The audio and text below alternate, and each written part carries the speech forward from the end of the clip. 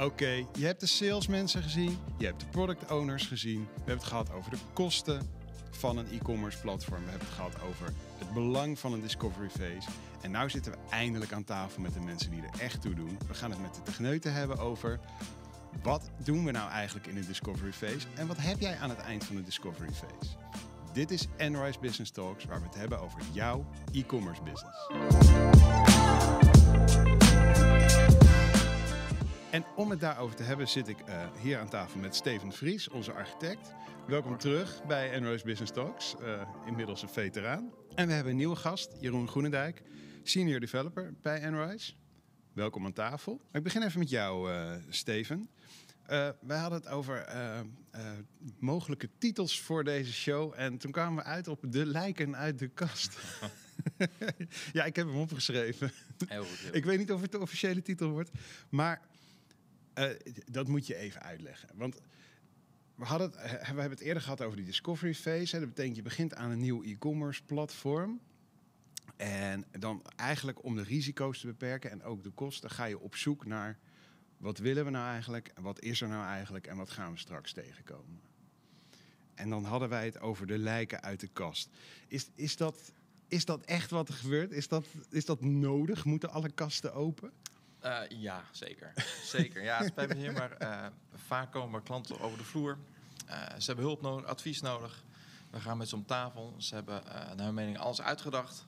Vervolgens komen wij om hoe kijken en we gaan alles doorlichten.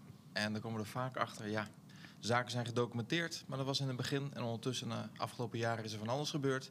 Maar geen idee meer wat. dus dan is het goed dat wij de zaken gaan doorlichten dan. En dan komen er wat lijken uit de kast. Ja, en je zegt geen idee meer wat er, wat er veranderd is. Maar kun je dat concreet maken voor me? Wat is er dan uh, veranderd aan zo'n systeem wat niet gedocumenteerd is? Nou, het gebeurt nu wel als dat begonnen is. Bijvoorbeeld, we hebben uh, informatie over een product. We hebben een mooi systeem voor bedacht. Uh, het werkt allemaal heel fijn. Gedocumenteerd en alles. En gaandeweg komen er promoties bij, komen er andere gerelateerde producten bij. Niet gedocumenteerd, maar wel gebouwd. Ondertussen hebben ze het plan klaar liggen. Joh, zo zien alle producten eruit. Vervolgens ga ik kijken en dan zie ik van, hé, hey, dat ziet er heel anders uit. Hoe zit dit? Hoe pak je dat dan aan? Want je, je, je komt binnen, je gaat kritische vragen stellen, maar uh, je hebt ook een bepaalde structuur. Wat zijn je, wat zijn je echte bezigheden zeg maar, tijdens, tijdens zo'n discovery phase? Wat, hoe doe je je onderzoek? Aannames checken. Er worden heel veel aannames gedaan door de klant, soms ook door onszelf. Uh, door dat dubbel te checken. Dus we maken inderdaad gewoon uh, kleine pokjes, heet het dan. Verbindingen maken met systemen. Oh, oh wacht, ho, stop. Ho. Oh, Vakterm alert, een pokje. Leg dat even uit. Een proof of concept. Oh, oké. Okay. Simpelweg bewijzen dat iets werkt zoals het hoort te werken in dit geval. Uh, we maken dan een koppeling met een systeem. Gaan we zaken, bijvoorbeeld productinformatie uitvragen en checken. Klopt het inderdaad wat we hier lezen van wat we terugkrijgen? En dan vanaf daar gaan we verder werken. Klinkt een beetje zo'n discovery phase voor mij alsof je veel aan het interviewen, aan het vergaderen en aan het workshoppen bent. Maar je bent dus ook daadwerkelijk al bezig aan het bouwen. Nou, aan het bouwen, je bent vooral aan het uh, dubbelchecken om te weten wat je eigenlijk hebt, technisch gezien. Hoe ziet het landschap eruit? Uh, voordat we advies kunnen geven, hier moet je naartoe, moeten we wel kunnen weten, ja, waar komen we vandaan? Hoe, hoe ziet je team er dan uit? Wat, uh, want je bent dus met developers, maar je bent met de klant. wie bemoeit zich tegen zo'n discovery phase aan? Vaak zijn we met z'n drieën. Een, een product owner en twee developers. Product owner houdt vooral met de business zaken bezig. Dus hoe gaan de flows daar functioneel gezien? En wij houden ons bezig met techniek. Wat hebben ze allemaal qua systemen staan? Hoe werkt dat nu? Waar willen ze naartoe? En dan volgens gaan wij kijken, nou, uh, hun toekomstplannen, hoe past dat allemaal in elkaar? Uh, wat kunnen we bewaren? Wat moeten we vervangen? Kan, kan, dat in één keer? Moet dat in één keer? Of kunnen we dat in fases doen? Dus stap voor stap gaan wij zeg maar, het hele systeem doorlichten om te kijken, joh, waar kunnen we nu het beste uh, waarde toevoegen? En waar gaan we zaken onder handen nemen? En dan ga je dat ook vastleggen op een bepaalde manier. Daar komen bepaalde deliverables uit. Is er dan niet een risico dat jij dan ook weer eh, eh, een document van 400 pagina's gaat schrijven. hoe, hoe, uh, hoe, voorkom je dat? Hoe, hoe maak je dat advies, nou, zullen we dan maar eens een Engelse term gebruiken, actionable? Actionable. Hoe, zorg je dat je er ook echt mee verder kan? wat we vaak doen, vooral als wij landschap in kaart brengen, is een architectuurschets maken. Hoe ziet het er nu uit? Waar willen we naartoe? het gebeurt geregeld dat we een architectuurschets maken voor echt de toekomst, voor de lange termijn. En dan eentje voor de MVP-fase. Dat is een mooie term. Uh, dus dan voor de eerste fase, joh, waar gaan we starten en waar willen we uiteindelijk naartoe? Dat houden we vrij beknopt. Uh, uiteindelijk komen er een aantal uh, stories uit, zoals het heet. waar we ook de zaken uit gaan werken. En komt de product owner ook omhoek kijken joh, wat voor budgetten horen erbij, om te kijken wat past in de eerste fase en wat niet. We hebben trouwens in de vorige aflevering hebben we eh, dat hele proces al een beetje besproken. En als je wil weten wat, wat dat precies allemaal is met stories en de product owner, dan moet je even de vorige terugkijken. Want uh, dat heb ik al, uh, daar heb ik jullie al over uitgehoord. Wat je nog wel even mag uitleggen is dat, dat MVP, dat, dat, ja, dat, dat ligt aan het eind van de tunnel, het MVP. als we daar maar eenmaal zijn. Kun je precies uitleggen uh, hoe, wat dat is en waarom jullie daar naar streven? En we streven er vooral naar om snel waarde te kunnen leveren. Uh, vroeger werden er wel eens Big Bang releases gedaan bij projecten. Uh, tegenwoordig is het nou, heel normaal dat er al van alles staat en zaken gefaseerd uh, in productie te gaan brengen. Om ze namelijk waarde toe te voegen. Dus we gaan niet alles in één keer vervangen. Want een Big Bang is, we zitten negen maanden te typen en dan op vrijdagmiddag zetten we het live. En dan, alles in dan één hebben we een heel slecht weekend, neem ik aan. kan zo zijn. Het risico is ook groter, dat klopt Ja. inderdaad. Gefaseerd dan beperk je de risico's, maar je levert ook eerder waarde op. En eh, vaak is het zo, we hebben dingen bedacht, eh, staat op papier, we hebben plannen. En zodra we het in gaan zetten en gaan gebruiken, lopen zaken eh, nou, 9 van de 10 keer gewoon anders dan bedacht. En dan kan je er veel makkelijker op inspelen als je gefaseerd doet. Anders is je budget helemaal op, je hebt wat staan en eigenlijk ben je net niet helemaal tevreden. Is dat ook jouw ervaring? Wat, wat ik ook vaak zie is dat een project, je hebt altijd drie onderdelen. Je hebt de deadline, je moet, het, mensen willen graag een keer live hebben. Je hebt de scope, hè, wat wil je dat er allemaal in zit. En het budget. En er zit vaak, zit vaak wel een soort frictie tussen die drie. Hè. Eh, je, kan niet altijd, je kan niet altijd alles wat je wil hebben voor het budget wat je wil hebben voor de deadline die je wilt hebben. Dus je Ja. maakt dan een soort. eh, de MVP is dus eigenlijk een kleinere versie van de scope. Je, je hebt niet alles, maar wel wat je echt hoog nodig hebt voor de deadline, eh, voor, voor het budget wat je wil hebben. Dat zijn een beetje drie knoppen waar je dan aan draait om eh, ja, in die eerste fase zo snel mogelijk eh, eh, de producten in de markt te kunnen zetten. Ja, en, en, en nou ja, eh, jij bent dan ook eh, bezig met het maken van die, die pokjes, die proof of concepts. Eh, in hoeverre passen die dan nog in, in de deliverables? Want dat zijn, dat zijn al stukjes code. Gebruiken jullie die dan ook later? Of zijn dat, is dat echt puur verkennend werk wat jullie later opnieuw doen of weggooien? Soms gebruik je het nog wel eens. Er is wel eens een, een- als je bijvoorbeeld als klant heb je je productinformatie in één systeem zitten en je webshop wordt beheerd in een ander systeem en je wil weten, kunnen we dat koppelen? En als developer denk je soms, ah, dat moet wel kunnen. Maar dan ga je in zo'n discovery phase, ga je even zo'n een proof of concept maken van, vallen die dingen echt te koppelen? Ja. De ene keer heb je, gaat het heel makkelijk en dan heb je ook gewoon iets staan wat je, waar, je denkt, waar je trots op bent, wat je denkt, dit kan ik verder uitbouwen eh, hierna voor, voor het MVP. En soms is het meer een, een eh, ja, dan denk ik, ja, dit, dit kan beter. dus, ja. Een soort, soort kladje, zeg ja, maar. dit is een kladje. Ja, ja. Dus dit eh, schuiven we aan de kant. En met de lessen die we geleerd hebben, maken we nu een, eh, een veel betere versie. Maken we iets beters, oké. En eh, nou, ik kan me dus inderdaad voorstellen, eh, Steven, dat je klanten hebt die denken van, nou ja, eh, volgens mij hebben we alles gewoon goed gedocumenteerd. We hebben een mooi plan gemaakt, we hebben een mooi functioneel ontwerp, technisch ontwerp.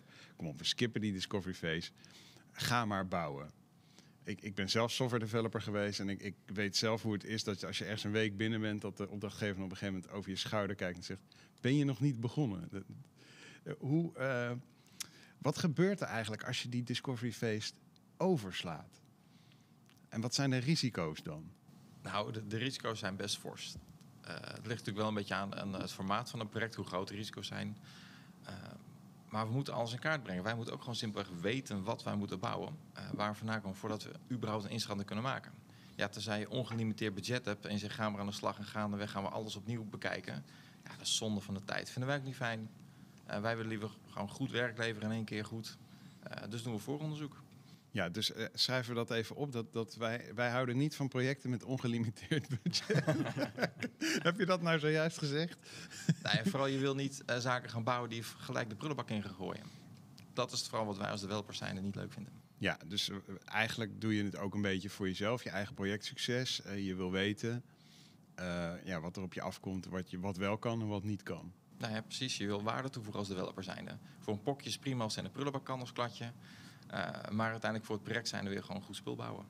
Jeroen, eh, nou ja, jij bent developer. Eh, ik neem aan dat dat ook jouw instelling is. En je wil zoveel mogelijk, zo snel mogelijk, eigenlijk zoveel mogelijk waarde toevoegen. Maar ja, ik vind dat toch een beetje abstract klinken. Dus ik, ik, heb, eh, ja, ik heb hier opgeschreven. Eh, Oké, discovery phase. Je komt binnen, je haalt koffie en dan drie puntjes. Dat staat letterlijk op mijn kaartje. Dus kun- je die zin aanvullen? Nou, in, het begin is het is denk ik vooral de, de product owner die, eh, die, die, samen met, eh, met jou in de spotlight staat, zeg maar. Hè, die het echt gaat uitstippen van wat, wil wat zijn nou je grote dromen, hè? wat is je visie, wat, wat wil je dat gaat bereiken, wanneer is je product een succes, dat is ook wel heel belangrijk. Ja, dus, dus eh, dat, dat is, zijn de grote lijnen. Dat heb je uitgezet. Maar dan, eh, dan ga je aan het werk. Dus dan eh, bijvoorbeeld, hoe kies je bijvoorbeeld welke, welke eh, proof of concepts, welke pokjes? Ik leer iedere dag een nieuw woord hier. Welke eh, proof of concepts je gaat bouwen? Nou, je- kijkt naar eh, eh, wat er al staat. Eh, soms is er al een heel, heel landschap. Misschien is er al zelfs een architectuurschets ervan. En dan kijk je wat er allemaal in zit. En je kijkt ook van wat de behoefte is, wat ze nog willen hebben. Dus stel, ze hebben al hun productinformatie ergens staan. Dan ga je kijken, hoe krijg ik dat daaruit en eh, beschikbaar in, in, in mijn webshop. Ehm, misschien worden alle bestellingen al verwerkt in, in een ander eh, pakket. Dan ga je kijken, hoe zorg ik dat die bestelling uit de webshop in dat pakket belandt. En soms eh, maak jij of de klant maakt de aannames en die wil je dan ook even testen. Ehm, we hebben bijvoorbeeld wel eens gehad dat, een, eh, dat een, een, eh, iemand in een sales traject zei... nou, ik heb, mijn bestellingen worden in dit pakket verwerkt... en dat is volgens mijn IT-afdeling razendsnel. Dat werkt echt supersnel.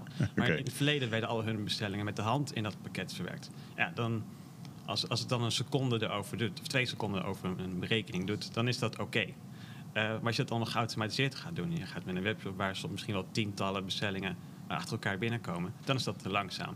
Ja. Dus dat soort aannames ga je dan ook testen. En is het zo, eh, want eh, je, doet dit natuurlijk al een tijdje. eh, is het zo dat je ergens binnenkomt en je kijkt naar de architectuurschets en dat je al meteen ziet van, oh wacht even, hier moeten we even naar kijken. Is heb je daar een soort van zesde zintuig voor ontwikkeld inmiddels? Het is elke keer anders. Dus inderdaad, soms denk je van... wow, dit zit echt supergoed in elkaar. Het is ook wel eens dat je denkt van... nou, hier zit echt hier is alles heel erg losgekoppeld. Dus ze hebben echt voor elk klein dingetje een losstaand pakketje gekozen. En denk je, oké, dan zie je ook meteen de uitdaging. Oké, veel bewegende onderdelen, super interessant. Eh, hoe gaat het met elkaar praten en hoe gaan wij daar, daartussen eh, stappen? En is het dan ook zo dat je, dat je eh, verschillende soorten discovery phases hebt? Want je hebt verschillende soorten klanten, verschillende soorten projecten. De ene klant is misschien wat meer ready to go, zeg maar, dan de andere. Bij ene klant moet je die hele discovery phase eigenlijk nog ja, verkopen. En de andere klant is al heel ver. Is het zo dat je daar ook nog verschillende smaken in hebt dan in zo'n discovery phase? Kan het bijvoorbeeld ook sneller en goedkoper? Ik neem aan dat je die vraag wel vaker krijgt. Ja, nou, in, in, in, de, in, de, voor, in de gesprekken voor, um, voor zo'n discovery phase, en de kennismakers met elkaar, dan, eh, dan, dan voelen we ook een beetje aan van eh, wat hebben ze nou echt nodig aan een discovery phase. En soms is er gewoon heel veel onduidelijk. En dan hebben we ook gewoon een discovery phase van bacon. Eh, maar we hebben ook wel eens gehad dat, een, dat iemand kwam met... ik heb hier al heel veel functionele omschrijvingen van wat ik wil... en mijn project is heel overzichtelijk... en ik heb niet zoveel bewegende onderdelen nodig. Ehm, en dan hebben we het ook wel eens in een dag gedaan. Dan, dan begonnen we 's ochtends met zo'n kopje koffie... en dan gingen we met z'n allen in, een- in een hok zitten... Ehm, en dan gingen we gewoon... eh, de, de functionaliteiten zoals die waren uitgeschreven door de klant al... Daar hadden wij als developers van tevoren al vragen bij bedacht om het allemaal nog scherper te krijgen. En halverwege de dag gingen we die dingen inschatten. Want dan hadden we eigenlijk al stories en epics. Eh, Stories en epics, ja. Ja. Dat zeg ik. Kijk, kijk de vorige aflevering. Daar, daar hebben we dit helemaal afgepeld. en die functionaliteiten die zijn dan, eh, dan wordt, gaan we dan inschatten hoe complex ze zijn, hoeveel tijd ze gaan kosten. En aan het eind van de dag kun je dan een, een inschatting maken van wat het hele project of het MVP zou gaan kosten. Dus je, je komt binnen en je zit eigenlijk een soort van lange intensieve workshopdag bij elkaar. En dan heb je aan het eind heb je een beeld van ja, wat, wat gaat het kosten tot mijn eerste versie die live is. Want dat is in principe je MVP. Hè? Dat is, Ja, dat, dat is, daar gaan ook echt klanten mee werken met zo'n MVP. ja zeker. Het, ja, het liefst al voordat het live staat dat ze ermee gaan testen en mee gaan spelen om te kijken van is het precies wat ik wil. Maar dan bedoel ik eigenlijk vooral klanten van klanten. Dus eh, een MVP is iets wat echt online gaat, waar echt bestellingen op binnen gaan komen. Dat is niet een of andere testversie of zo. Dat gaat echt in productie. Ja, we hebben één keer gehad dat we een MVP, dat hij eh, een paar weken voordat hij live ging, stond, stond hij al online beschikbaar.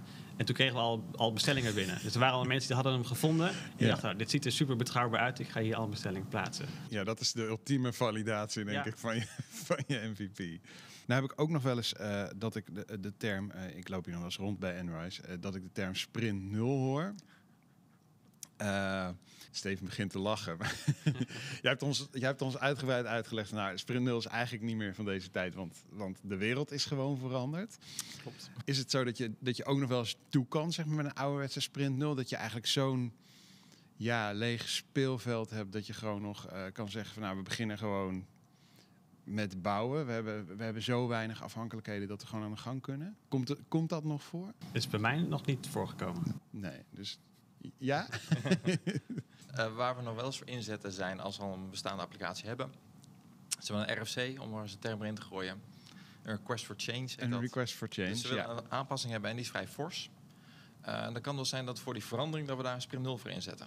Dus alles functioneel in kaart brengen. Op zich kennen we de systemen, dus dat is niet meer onduidelijk. Maar vooral voor een grote functionaliteit eh, zetten we soms nog wel een sprint 0 in. En wat doe je dan in zo'n sprint 0? Nou, als eerst gaat de product owner om tafel om alles functioneel in kaart te brengen. Die maakt daar stories voor aan.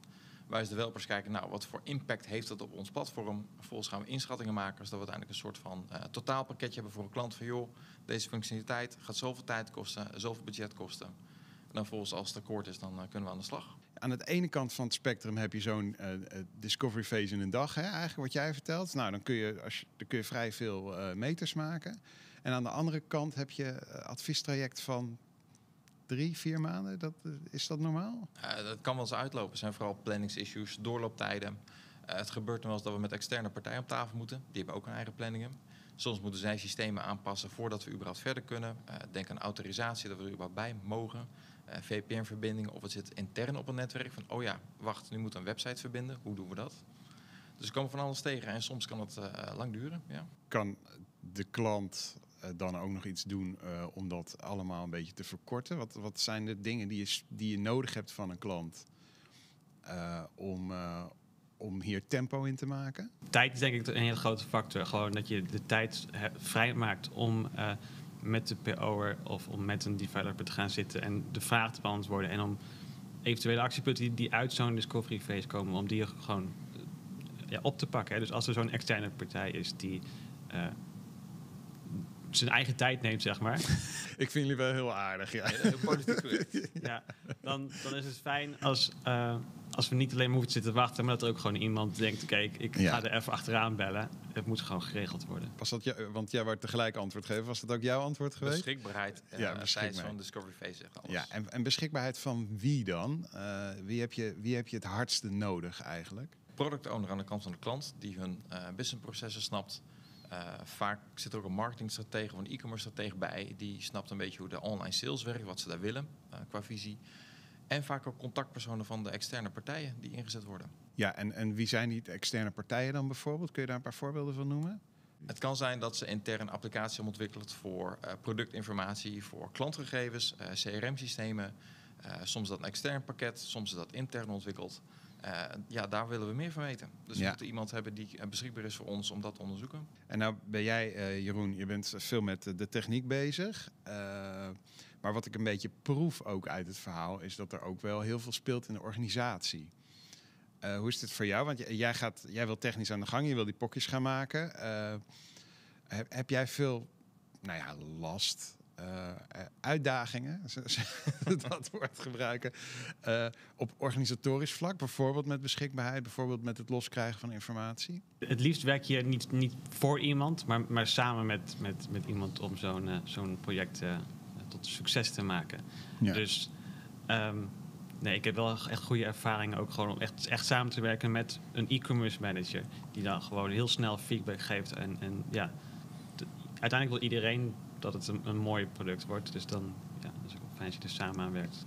Ja, dus daar zit ook eigenlijk de kracht dat je, dat je het samen doet. Ja, Kunnen jullie dan ook het team daar weer helpen met het krijgen van draagvlak? Want we hadden het natuurlijk twee afleveringen geleden even over de kosten van, van een e-commerce platform. Waar CEO's en CFO's toch wel van schrikken soms. Eh, kunnen jullie dan ook helpen met laten zien van nou, dit is wat we aan het doen zijn, dit is de waarde die we leveren en, en dit is ook wat we doen om de risico's en de kosten te beperken? Ja, als je stel je hebt een pakket nodig om je productinformatie in op te slaan. Dan hebben wij onze voorkeuren. Wij hebben voorkeuren wat, wat zo'n pakket zou moeten kunnen en hoe die zou, zou moeten werken. Maar verder is het vooral ook echt een keus van jou. Van wat vind jij fijn werken? En dan zorgen wij wel dat het gekoppeld kan worden aan uh, wat er verder nog uh, in het landschap draait. Um, dus wat we dan wel vaak doen, is als we zo'n keus, als wij zo'n voordracht doen, van dit vinden wij een goede fit uh, voor jouw vraag, is dat en er is intern, zijn er misschien vragen over, dan schrijven we nog wel eens een vergelijking met andere pakketten uit, bijvoorbeeld, die er binnen die organisatie genoemd worden. Hè. Dan vraagt wel eens iemand, waarom niet X, waarom niet Y? En dan, hmm. dan schrijf je een, een vergelijking uh, met een conclusie, met een aanbeveling van. En daarom denken wij dat dit het beste past voor jullie. Uh, nee. En dan kan alsnog de keuze gemaakt worden om het wel of niet te doen. Steven? Het komt vaker voor dat de product owner mee op tafel zit en volgens naar een, een, directie moet om het plan neer te gaan leggen. Uh, wat er vooral helpt is ook om de, de pijn die ze nu ervaren uh, te laten zien hoe we dat wegnemen. De voordelen om deze stap te gaan zetten. En vooral omdat we werken met een MVP-fase en een visie naar hoe verder daarna. Haal heel veel zorgen van ja, leuk, dan hebben we straks een platform en willen we straks weer wat nieuws, moeten we weer opnieuw gaan kijken. Uh, nee, die zorgen halen we weg, juist om nog even een stap verder te gaan. We kijken iets verder dan nu, ook over een paar jaar. Dat doen we ook met de product owner. Die maakt zo'n product vision board, heet het dan. Om een beetje een visie in kaart te brengen. Niet alleen voor nu, maar ook voor straks. En uh, voor de MVP zetten we een mooi architectuurplaatje neer. Waardoor de klant kan zeggen, nou, ik snap fase 1. En ik snap ook waar we naartoe willen. Ja, en je noemt dat een, een vision board? Product vision board. Een product vision board. ja, dus is dat net zoiets als het moodboard wat ik van mijn interieurontwerper krijg? nou, dat is een, een, middel wat de product owner uh, inzet om uh, de klant vragen te stellen en na la laten denken van joh, wat hebben we nu nodig? Prima, maar wat heb je straks nodig? Hoe ziet het er over een aantal jaren uit? Waar wil je naartoe? En is dat ook, uh, misschien als laatste vraag, is dat ook de kern eigenlijk van de waarde die je uit een discovery phase haalt. Uh, ik stel die vraag denk ik even aan jullie allebei. Wat is nou de, de, de belangrijkste, liefst in één zin, de belangrijkste waarde die je hebt aan het eind van je discovery phase, waarmee je uh, met meer vertrouwen en meer controle die de rest van het project ingaat? Je weg naar succes wordt duidelijker. Dat denk ik in één zin uh, wat, je, wat je eruit haalt. wat, wat zijn die wat zijn die, die pijnpunten die je dan uh, probeert op te lossen? Wat, wat zijn de hoofddoelen van zo'n MVP? Het verschilt natuurlijk per klant wat ze tegenkomen. Maar uiteindelijk komt erop neer dat ze met een MVP geholpen zijn om verder te kunnen. Uh, op dit moment zitten ze vast ergens, ze zitten aan de limieten van het systeem. Of ze hebben gewoon een zorg voor jongens, we hebben advies nodig. in principe is het, het idee na de score phase ze ontzorgt en ze weten hoe ze verder kunnen. Oké, dankjewel. Dus wat doen we nou eigenlijk in een discovery phase? We bepalen niet alleen wat er moet gebeuren, maar we bepalen ook of dat eigenlijk wel kan. En als je dat dan weet, dan ligt het pad naar succes voor je open. Dit was Enrise Business Talks. Ik zie je bij de volgende.